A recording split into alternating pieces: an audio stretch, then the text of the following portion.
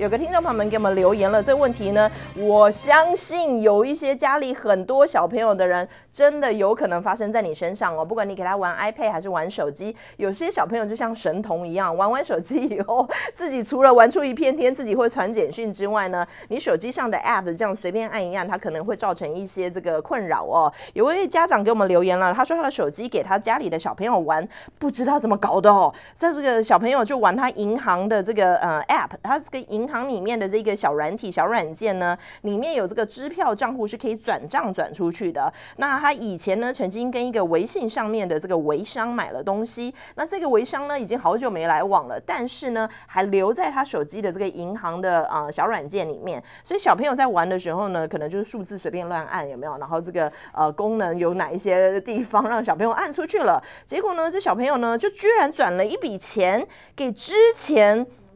买过东西的这个微商，那钱已经出去了。感觉上怎么去追回来，他不晓得哦，因为这个微商早就已经没联络了。以前可能在微信上跟他买过东西，已经失去这个中间的联系，打电话也没有办法打得到人哦。然后这个微信上面也找不到这个人，他到底怎么样可以把钱追回来？如果告诉银行说不是我做的哦，是我家小孩做的，我家小孩只有三岁而已，那银行会不会把这个钱转回来给我，帮我协助我把这个不小心转出去的钱再把它转回来呢？嗯，真的有可能发生在你身。上哦，如果真的发生了，应该要怎么解决呢？今天为大家请到的是我们黑道银行家 Karen 苏，请他来帮我们解答一下，万一真的发生在我们自己身边，该怎么解决呢？Karen 你好，各位听众朋友大家好，嘿嘿好嘿，真的这样子的问题，OK，我是建议，如果真的私底下呢是没有办法呃私底下解决的话，哎，那么呢就只能去找银行，但是因为这个手机呀是你自己的 own。responsibility，你自己的责任是，所以呢，不 guarantee 你去找银行是不是可以通过银行把钱拿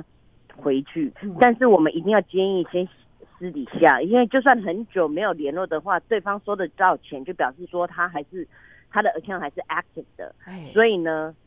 一定要先私底下先想办法去找那个微商退款。不行的话，那你只能找银行看是不是。到银行去写一个 dispute form，但是每一家银行都不一定不能 guarantee 钱可以帮你追回来，因为。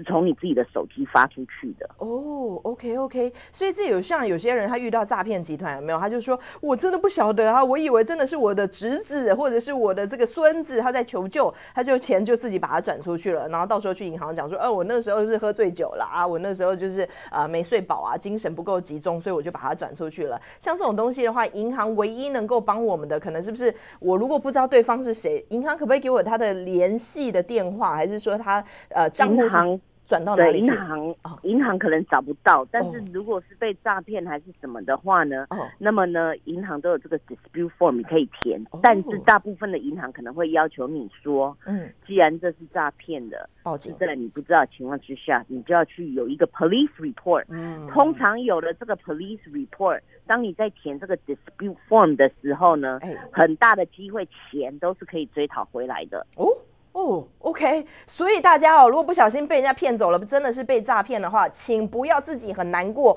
或者是呢，一直不断的被家人骂，就想说啊，息事宁人哦。赶快报警哦！在美国的制度，银行有可能因为你这个报警了，然后你去 dispute，就是把钱要回来，是有机会救回来哟。那像这个小朋友乱按乱转钱的这个部分呢，银行至少可以帮你先查查看对方是谁。如果你自己联络不到的话，也许对方的账户在哪里，或者是他联系方法，还可以知道是哪一家银行的，想办法帮你联系而已。但是因为真的是小朋友不小心嘛，这个银行其实也没有这么大的责任可以去做 dispute 哦。赶快去找你的银行，希望我们这个听众朋友们，你可以找到你们银行的这个。呃呃，帮你做的这个专员来帮你协助哦。